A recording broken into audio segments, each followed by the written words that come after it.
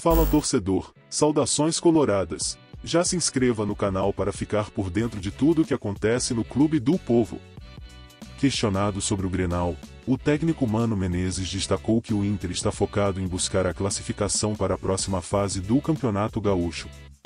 Antes do clássico, o Colorado ainda terá uma partida contra o Aimoré. Não estamos pensando no Grenal, estamos pensando em classificar.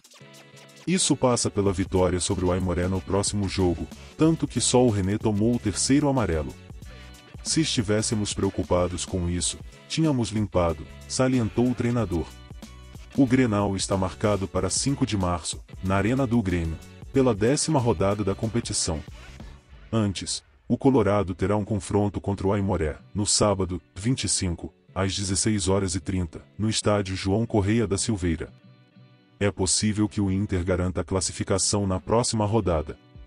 O Clube do Povo está em segundo lugar, com 16 pontos conquistados em 8 rodadas, 4 vitórias e 4 empates. Na última rodada, o Inter superou o São José por 2 a 0 e ficou mais próximo de garantir uma vaga entre os quatro primeiros. O Colorado terá uma lista de jogadores que estão pendurados com dois cartões amarelos, em bustos, de pena, Johnny, Alemão, Pedro Henrique e o técnico Mano Menezes. Esses atletas não poderão atuar no Grenal caso recebam alguma punição contra o Aimoré.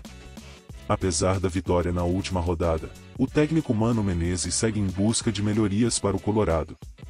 O comandante quer melhorar a produção ofensiva e destacou que está trabalhando nos treinos para ter outras opções no setor de ataque.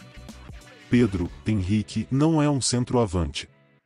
É atacante de velocidade que também pode fazer a função por dentro. Mas não é o centroavante. Estamos trabalhando com Alemão e Luca para ser esse jogador. Queria deixar bem claro que não é pelo sistema que se tem alguma dificuldade, salientou o Mano.